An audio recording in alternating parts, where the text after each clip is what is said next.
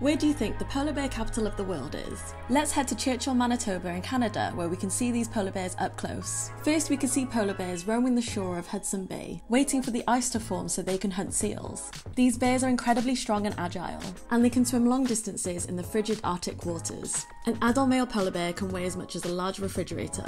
Next, we'll visit a tundra buggy, which is a safe and eco friendly way to view polar bears from a distance. These buggies are equipped with high tech cameras and speakers, so you can get a close up look at the bears and learn about their behaviour from experts. Finally, we'll visit Wapusk National Park, home to a large population of polar bears. This remote park is a haven for these animals, and a lot of polar bear research is done in this region. As the Arctic sea ice melts earlier and later in the year, the polar bears have less time to hunt for seals, their main source of food. Discover more about these amazing creatures, search polar bear on Google Arts and Culture.